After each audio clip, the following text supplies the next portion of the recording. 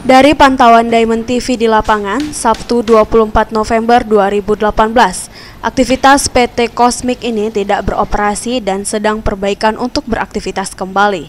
Pencemaran PT Cosmic ini yang bergerak di bidang pabrik aspal membuat warga tersebut terganggu oleh aktivitas pabrik tersebut, di mana asap pembuatan aspal ini membuat warga tersebut menyium bau yang tidak sedap di lingkungan warga, khususnya warga Kampung Melayu RT 3 RW 3 Kelurahan Melayu, Kota Piring.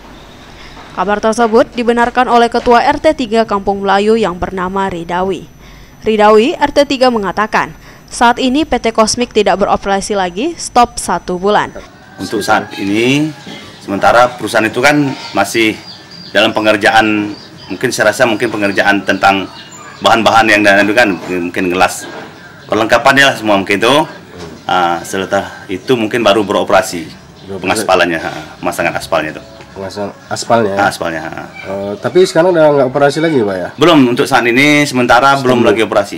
Ridawi pun menambahkan PT Kosmik akan buka kembali dan tidak ada masalah lagi bagi masyarakat RT 3 Kampung Melayu.